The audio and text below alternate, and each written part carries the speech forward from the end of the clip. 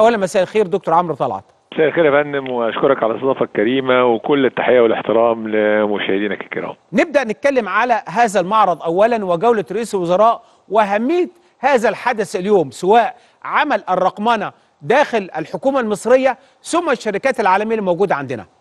متشكر جدا يا فندم. هو الحقيقة النهارده فعلا يوم يعني كان زاخر بفعاليات في منتهى الأهمية بدأت بتشريف دولة رئيس الوزراء لافتتاح معرض Cairo ICT هذا العام نيابة عن فخامة الرئيس وخلال يعني الجوله اللي كنا في معيه دولة الرئيس فيها شاهدنا مجموعة الحقيقة متميزة من العروض من الجهات الحكومية من القطاع الخاص من الشركات العالمية والشركات المحلية تستعرض كافة الحلول والمنظومات سواء بالنسبة للشركات المنظومات التي تسوقها في مصر أو بالنسبة للجهات الحكومية ل يعني مرتكزات الرقمنة التي تنتهجها لتقديم خدمات أفضل للمواطنين في مختلف الملفات المسؤولة عنها هذه الوزارات.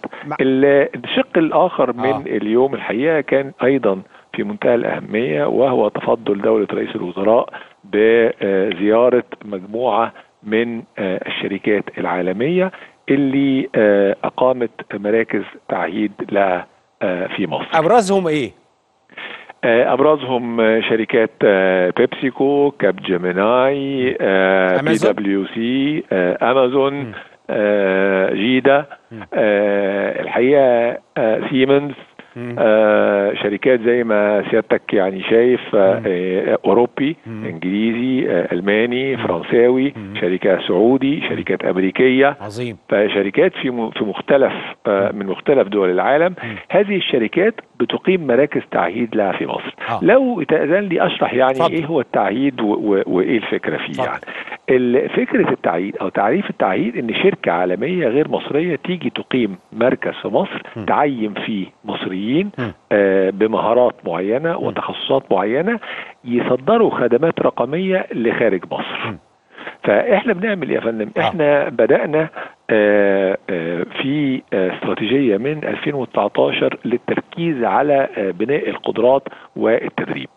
كنا بندرب 400 4000 شخص في السنة في عام 2018 إحنا السنة دي إن شاء الله بنستهدف 400 ألف شخص. مم. من 4000 ل 400 ألف. شباب. شباب. دول بيشتغلوا نظم معلومات أمن معلومات تصميم وبيعملوا إيه؟ كل حاجة فانا هقول لسيادتك. لما بدأت الشركات من أول 2020 2021 كده بدات الشركات العالمية تلاحظ التركيز القوي المستمر من مصر على آه النمو في المهارات والكفاءات الموجودة في السوق. بدأت آه الشركات تقبل على اقامه مراكز تعيين لها في مصر. م. كنا زمان بننمو حوالي 12% في السنة في مراكز التعيين إحنا السنة السنتين الأخيرة حققنا نسب نمو 20 ثم 25% عظيم. وبنستهدف 30% إن شاء الله هذا العام. كويس. ليه؟ لأنه الشركات العالمية عشان تفتح عند سيادتك مركز تعهيد آه. أول نقطتين تبص عليهم. إذا كان البلد مستقرة أيوة. نمرة اثنين إذا كان البلد فيها مهارات وكفاءات بالقدر الكافي وبالكلفه الكافية. فالحمد لله هذان العنصران متوفران في مصر الآن. ولذا بدأت الشركات بالفعل تقبل على إقامة مراكز تعهيد لها في مصر النهارده دولة رئيس الوزراء زار هذه المجموعة المتميزة من الشركات لمسنا فندم أكتر من حاجة في منتهى الأهمية أيوة. اولا إن قطاع الاتصالات وتكنولوجيا المعلومات النهارده م. لم يعد مقصور على مهندس اتصالات أو خريج تكنولوجيا معلومات م. النهارده شفنا في مراكز التعهيد اللي يعني تفضل دولة رئيس الوزراء بزيارتها آه. ناس متخرجة من مختلف الكليات و مش هندسة بس العلم. لا يا فندم ولا حاسبات وشفنا آداب وشفنا تجارة آه. وشفنا صيدلة شفنا وشفنا آآ آآ يعني سياحة شفنا مختلف الكليات طبعا بالإضافة إلى هندسة وتكنولوجيا معلومات نعم. ده الرسالة الأولى المهمة الرسالة الثانية المهمة إنه القطاع شفنا ناس متخرجة حديث التخرج نعم. وشفنا ناس بعد عشر سنين في مهنة أخرى قرر أن هو يحول مساره المهني إلى تكنولوجيا المعلومات ليه؟ من خلال لأنه لقى إن هذا فلوس أكتر ممكن فلوس أكتر ممكن آه. راحة لأنه ممكن يشتغل من البيت م. لأن إنه بيشتغل مع جهات أجنبية م. فده كلها مميزات المحور الثاني المهم اللي إحنا التفتنا إليه في الاستراتيجية من 2019 كان تدعيم البنية التحتية الرقمية وتقوية الإنترنت الثابت في مصر م. إحنا كنا وقتها فندم ترتيبنا 40 على إفريقيا م. استثمرنا أكتر من 2 مليار دولار أيوة. إحنا الحمد لله منذ عام 20 21 إحنا رقم واحد على إفريقيا وده شركات عالمية اللي بتطلع هذا الإحصاء مش إحنا آه شركة أوكلا وده تقرير منشور على الإنترنت اللي يحب يخش آه يعني في خلال سنتين من 40 لواحد من من المركز ال 40 إلى المركز الأول آه ده فادنا في يا فندم؟ فادنا آه. إنه لما اولا لما حصلت الكورونا آه. والشركات طلبت من موظفيها إنهم يشتغلوا من البيت الحمد لله البنية التحتية كانت مستقرة وكفء واستطاعت إنها تستوعب الأحمال الزيادة نعم. ده ده في بلاد أخرى ربما يعني بلاد ضخمة م. ومشهورة في مجال التعيين لم يتحقق م. فبالتالي خلى بعد كورونا الشركات العالمية تعتمد على مصر أكتر في التعيين لأن لقت إن البنية التحتية الرقمية مستقرة وكفء وتستوعب هذا. النقطة الثانية في البنية التحتية والدور اللي بتلعبه إن أنا النهارده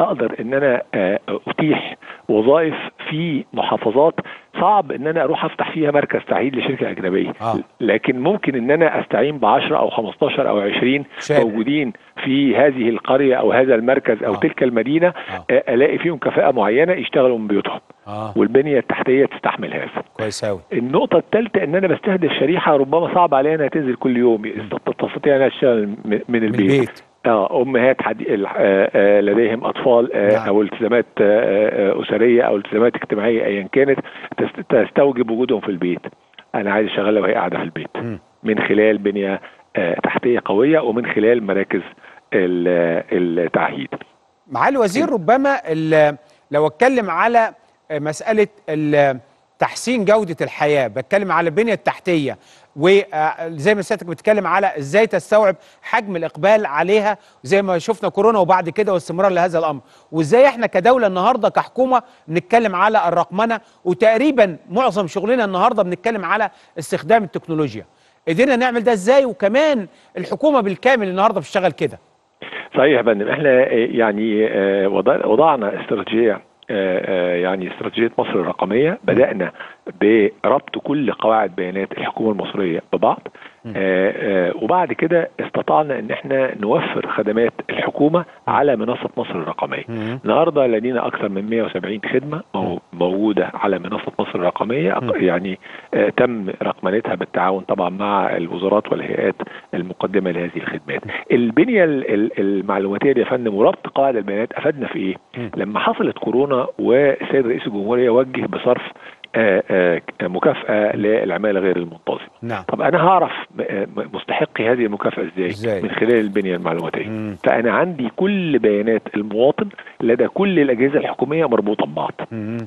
فمن خلالها أستطيع أن أنا أتبين استحقاقات كل مواطن وإزاي أقدر آه، آه، أقدم كحكومة هذه الاستحقاقات بشكل أكثر كفاءة وأكثر يسر وحوكمة لكل آه، فئة من فئات المواطنين وكل شريحة من الشرائح المستهدفة. النهارده الدكتور مصطفى مدبولي رئيس الوزراء كان بيشيد بالشباب بيتكلم على الشباب بعملية تصميم آه، نظم أمن المعلومات آه، وإزاي بيتم اعتماد عليهم ممكن تشرح لنا وتدينا فكرة عن الشباب المصريين اللي هم النهارده أصبح الشركات العالمية الكبرى بتعتمد عليهم والله كنوعية. هو يعني الحقيقة إن آه، يعني الحديث اللي تفضل آه، ب- ب- بدوله رئيس الوزراء كان في تقديري نتاج ل آه، يعني نماذج رائعة من الشباب اللي التقينا بيهم في الشركات اللي آه، ذكرتها لسيادتك. نعم. فعلا آه، آه، شباب رائع. اولا إحنا كنا دايما في كل شركة بنسأل سؤال مهم جدا نسبة ال- الفتيات والسيدات في الشركات النسبة دايما تفوق 40% آه، في كل شركة. بنسأل على آه، نسبة ذوي القدرات الخاصة. بنسأل على الكفاءات. بنسأل على آه، متوسط العمر. بنسأل على المرتب ال- ال- الأول للخريج الحديث. فبنسال على كل آه، شاب بيصدر بقد إيه إحنا بنتكلم على إن الشاب الواحد بيصدر في السنة من 25 إلى 100 ألف دولار مم. صادرات رقمية آه. النقطة الثانية يا فندم إن الصادرات الرقمية ميزتها إن ما فيش فيها آه، آه، مستلزمات إنتاج أنا ما عنديش مادة خام مم. أنا المادة الخام هي العقل البشري المدرب مم. فبالتالي القيمة المضافة في مصر أكثر من 90% عظيم فانا لما بصدر ب 100 دولار ما بستوردش مستلزمات إنتاج مثلا ب 50 60 دولار عشان أصدر ب 100 دولار لأ. آه. أنا بستورد آه، كمبيوتر فقط وأعلم الراجل آه. والباقي باقي ال 100 دولار يعني حوالي أكتر من 90 من المية آه، بتبقى آه، آه، مكسب صافي آه، للعملية التصديرية. فده الحقيقة ميزة كبيرة للصادرات الرقمية. قد إيه- حضرتك بتتكلم على الملف الصادرات الرقمية إيه اللي أنجزناه في الملف ده؟ يعني كنا قد إيه والنهاردة بقينا كام ورايحين لفين؟ حاضر يا فندم. إحنا آه كنا آه سنة 2020 آه مليار و800 مليون. إحنا دي- دولار؟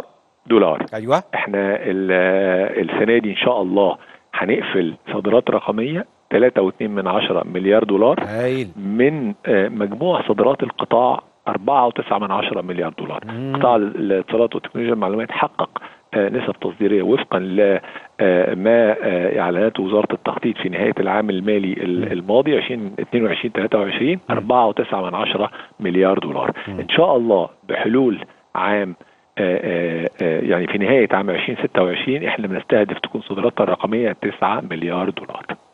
26 ان شاء الله. وإحنا قادرين على هذا بإذن الله. فإحنا هنقعد ننمو يا فندم بنسب آه، آه، من 30 إلى 40% كل سنة بإذن الله. كويس. من من طب هل إحنا آه، ماشيين على الخطة من أول ما بدأنا من 2019 إلى الآن؟ أيوه بالفعل ماشيين على الخطة دي.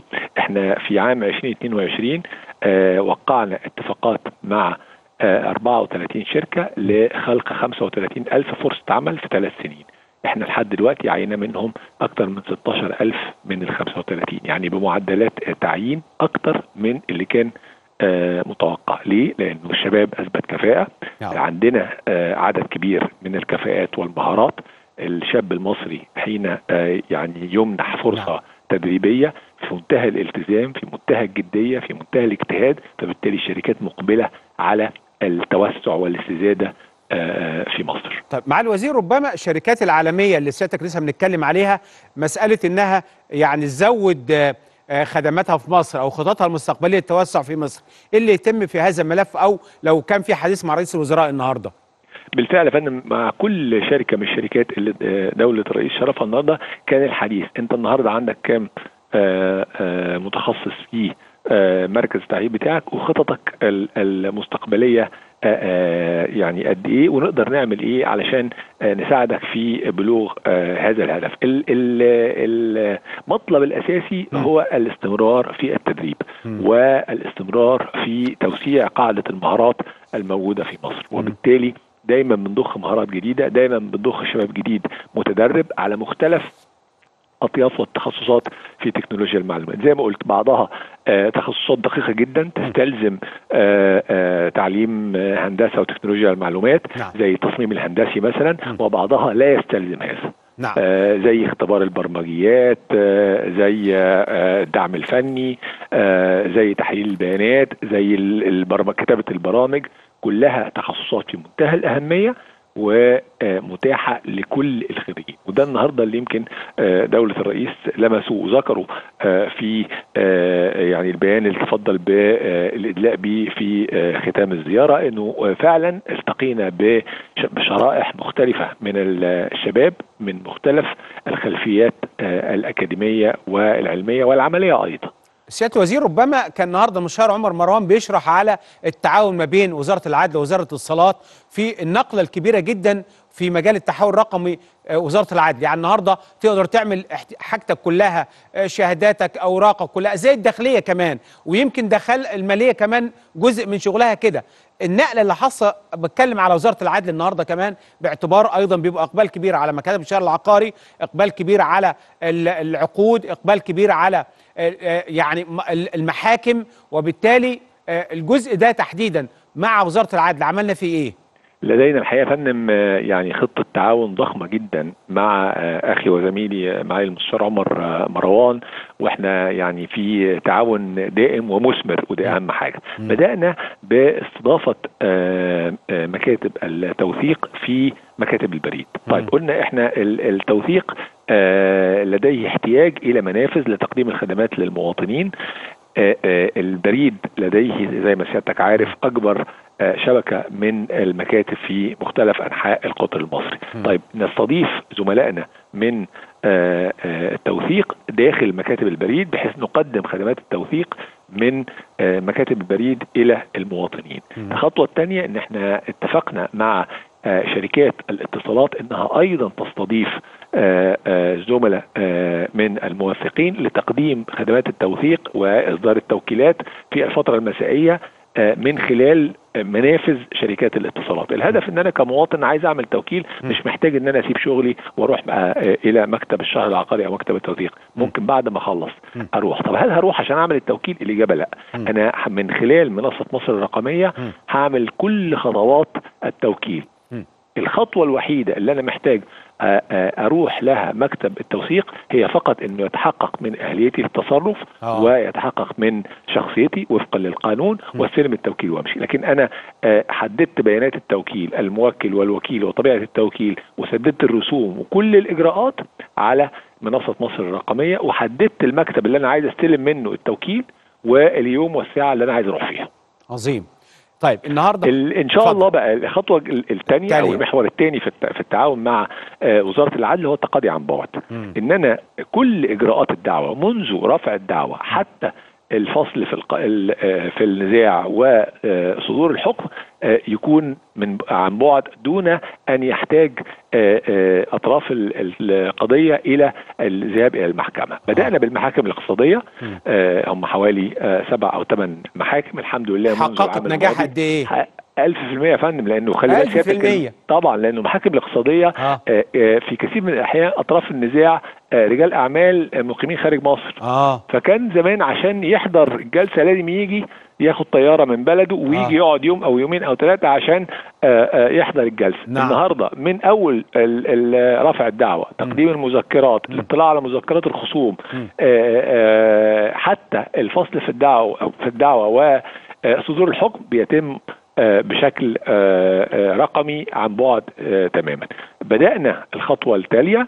في إن إحنا نعمم هذا النظام على المحاكم المدنية بالكامل حاليا بنبني المنظومة وإن شاء الله نبدأ في تطبيقها اعتبارا من العام القادم أيضا مع وزارة العدل بنتعاون في تحويل محاضر نعم. التحقيقات ووقائع آه. جلسات الجلسات آه. من ال ال يعني الصوتية إلى آه. نص مكتوب من خلال منظومات تدار بالذكاء الاصطناعي لتحويل النص المقروء أو الحديث إلى نص مكتوب. نعم. طب ده معتمد؟ يعني ده يبقى زي ما بقول كده زي زي ما أقول كده اللي هو محضر الجلسة أو مش كده؟ تمام يا فندم. ده محضر الجلسة. ال ال الأطراف القضية آه بي بيمارسوا عملهم بشكل عادي آه. ومن خلال الميكروفونات. المنظومة بتحول آه النص المخاطب أو المقروء إلى نص مكتوب. عظيم. آه بعد كده طبعا ال ال يعني القاضي أو نعم. يعتمدوا نعم. ويصبح آه في حكم النص التقليدي يعني. هاي طيب سيادة الوزير ربما ننتقل لملف الحكومة والعاصمة الإدارية وهل كل الموظفين النهارده اللي موجودين دلوقتي اللي موجودين في العاصمة هل في ناس ثانية بندربها ولا خلاص إحنا اكتفينا بالمجموعة الأولانية؟ التدريب مستمر. آه. لأن التدريب عملية لا تنتهي. لأنه دايما بندرب على ما هو جديد دايما بندرب على مهارات أكتر. بيحصل إحلال للموظفين وتغيير. لابد إن الموظفين الجدد يتدربوا على المنظومة. لابد إن الموظفين المنتقلين إلى وظائف جديدة أن يتدربوا على المنظومات المتعلقة بالوظائف الجديدة. فالعملية التدريبية عملية لا نهائية لا تنتهي وإنما هي عملية مستمرة بشكل دائم. هل عندنا شوية بعض المشاكل بعض شركات الاتصالات؟ أقصد الاتصالات يعني المكالمات.